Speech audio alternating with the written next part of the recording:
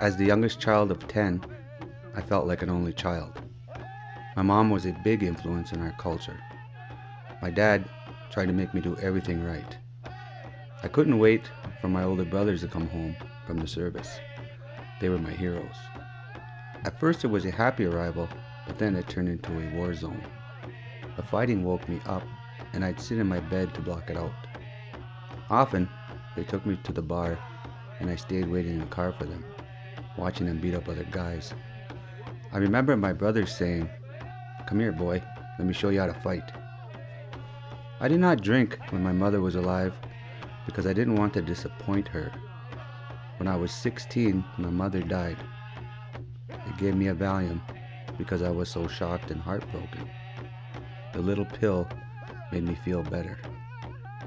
I smoked marijuana to soothe my pain, then later started drinking. When I was out partying and cheating on my wife, I thought I was king. I was 18 when my first beautiful girl was born. That night, I was celebrating, got drunk, and almost crashed my brother's car. My handsome son was born 13 months later. I had a beautiful family. I tried to sober up several times for them, but couldn't. I spent time in jail for fighting and hurting others. In 1990, my beautiful Indian baby girl was born. She was two when her mother left me. We divorced. I continued the pattern with women and tried to sober up in AA many times, but had trouble with the higher power thing.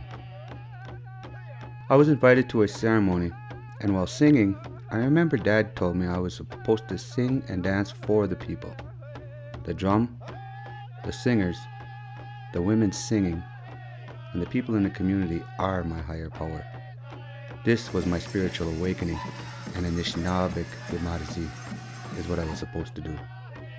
Many spiritual gifts have come my way since I became sober. My three children and the six grandchildren are the greatest gifts the Creator has blessed me with. I remember being in lodge the day before Father's Day. I could see in the lodge as if it were daylight.